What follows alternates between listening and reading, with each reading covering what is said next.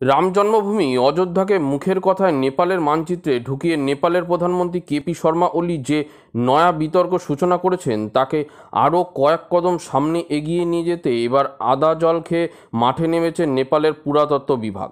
রামের জন্মভূমি খুঁজতে অলির দাবি মতো দেশের দক্ষিণে থরিতে খনন কাজ শুরু করতে চলেছে পুরাতত্ত্ব বিভাগ। একই সঙ্গে চলবে গবেষণাও। নেপালের পুরাতত্ত্ব বিভাগের ডিজি দামোদর গৌতম বৃহস্পতিবার জানান একটি দায়িত্ববান সংস্থা হিসেবে দেশের সাংস্কৃতিক আর ধার্মিক স্থলগুলি নিয়ে পুরাতাত্ত্বিক খনন, অনুসন্ধান এবং বিশ্লেষণ করা হবে। গৌতম বলেন, দেশের প্রধানমন্ত্রীর বয়ানের পর আমাদের দায়িত্ব রয়েছে কিছু।